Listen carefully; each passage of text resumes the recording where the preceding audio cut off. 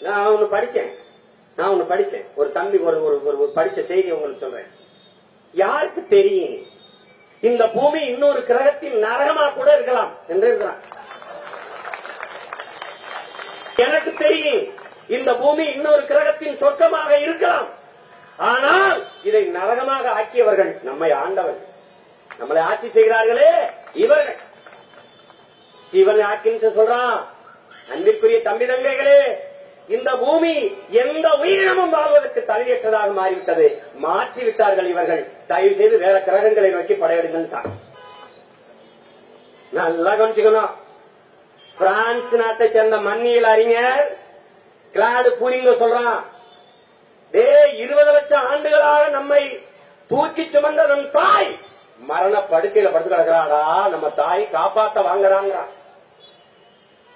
பதினெட்டு வயதிலேயே நம் தாய் பாட்டியாகிவிட்டால் காரணம் நாம் படுத்திய பாடு என்கிறார் தலையென இருந்த மலையை வெட்டி கொடங்க. கரம் என கைகள் என்று நீண்ட மரங்களை வெட்டி சாச்சம் வயிறன இருந்த ஆறு ஏரிகளை தோண்டி தின்னோம் செத்துட்டா. இனி எவனும் வாழ முடியாத நிலைக்கு நம்மளை வச்சிட்டாங்க. பனைமரம் பாலைவனத்தில் வராது. ஆனால் வறண்ட நில பயிர் பனைமரம். அந்த பனைமரமே சாகிறது என்றால் உன் நிலம் பாலைவனம் ஆகிவிட்டது என்பதை நீ புரிந்து கொள்ளணும். Hydrocarbon methane. அரபு நாடுகள்ல என்ன எடுக்கிறான் துபாய்னா அவனுக்கு ஒண்ணு இல்ல மண்ணு. இது அப்படி இல்ல. பொண்ணு விளையிற என் தாய் மண் இது. கதிராமங்கலத்துல புதுக்கோட்டையில இருக்கிற நெடுவாசல்ல என் ஊர்ல மாமரம் வராது. என் ஊர்ல பனைமரம் நல்லா வரும். என் மாவட்டத்துல ராமநாதபுரம் சிவங்கில என் ஊர்ல புளிய மரம் வேப்ப மரம் நல்லா வரும். நல்லா கவனிச்சுக்கணும். என் ஊர்ல பலா மரம் வராது மாமரம் வராது.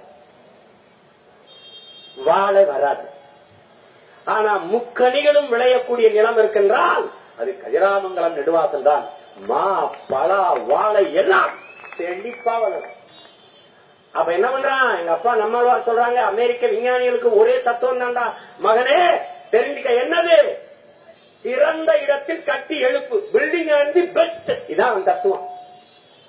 எங்க வளம் இருக்கோ அங்க போய் வேட்டையை தொடங்கு. நான் பல முறை சொல்லிட்டேன் என் தம்பி தங்கைகளுக்கு. ஜான் பெர்கின் எழுதிய அமெரிக்க பொருளாதார அடியாளின் வாக்கு மூலத்தை படிக்கணும். இரண்டாம் பாகம் அமெரிக்காவின் ரகசிய வரலாறை படிக்கணும். இது ரெண்டையும் படிச்சுட்டா நீ தூங்க மாட்ட. எனக்கு ஓய்வு கொடுத்துட்டு நீ கிளம்பிடுவ. உன்னை சுத்தி என்ன நடக்குது?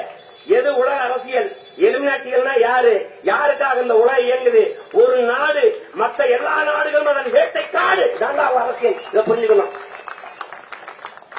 இத ஹைட்ரோ கார்பன் எடுக்கிறத வளர்ச்சிமா மீத்தேன் எடுக்கிறத வளர்ச்சிமா எரிவாயு எடுக்கிறது வளர்ச்சிமா எல்லாத்தையும் எடுத்துட்டு வெறும் எரிவாயு வச்சு என்ன பண்ணுவான்? நம்ம செத்தாத வச்சு எரிப்பானா? என்ன பண்ணுவான்? என்ன பண்ணுவான்? தொழில் வளர்ச்சி என்பது நிலத்தையும் வளத்தையும் கெடுக்காமல் இருக்கணும். அதான் இருக்கணும். அததான் புத்தன் உனக்கு போதிக்கிறான். ஒரு பூவில் அமர்கிற வண்டு அந்த பூவுக்கு எந்த சேதமும் இல்லாமல் தேனை உண்டு விட்டு வெளியேறுவது போல நீ இயற்கையை பயன்படுத்திக் கொள்ளணுங்கிறான். இயற்கையோடு இணைந்து வாழத்தான் உன்னால் முடியும். இயற்கையை எதிர்த்து நின்று வென்று வாழவே முடியாது உன்னால. இதை நல்லா கவனிச்சுக்கணும். அண்ணல் காந்தியடிகள் சொல்றார் மிக அருமையாக சொல்கிறார் இந்த பூமி நம் இயற்கை அன்னை எல்லா உயிர்களுக்குமான தேவையை தந்து விடுகிறாள். ஆனால் மனிதர்களின் பேராசைக்கு அவரால் தர முடியவில்லை. தவிக்கிறாள் என்று சொல்றார். ஏறக்குறைய காலி பண்ணிட்டான் இப்ப நம்ம நாட்டுல ஆத்து மணல முடிச்சாச்சு. ஆறு செத்துருச்சு. தமிழ்நாட்டுல முப்பத்தி ரெண்டு ஆறுகள் செத்துருச்சு. ஆறு இல்ல. ஆறு செத்துருச்சு நீ எப்படி சொல்ற? எப்படி சொல்ற? இப்ப என் கை காலு ரத்தம் ஓடிட்டு இருக்கு இயங்குது. இந்த இடத்துல ரத்தம் தடைபட்டா செயல் இழந்துரும். அப்படியே ஆறுல ரத்தம் தடைபட்டு செயல் இழந்து செத்துருச்சு. இதுக்கு சான்று அந்த ஆற்று கரையிலேயே இருக்கிற பனையும் தன்னையும் கழுத்து முடிஞ்சு செத்துருச்சு. ஆயிரம் அடிக்கு கீழே போய் பனை மரத்திற்கு பக்க வேர்கள் கிடையாது. ஒரே வேர் தான் ஆணி வேர்.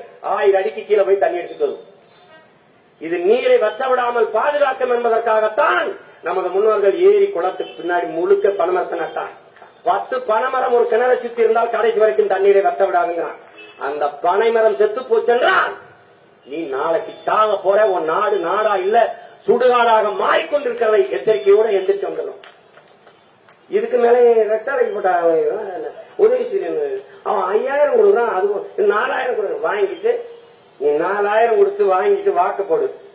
நேர கடைக்கு போய் பால் வாங்கி போட்டு சாப்பிட்டு படுத்துரு. நீ வாழ்றலாம் அர்த்தம் இல்லை.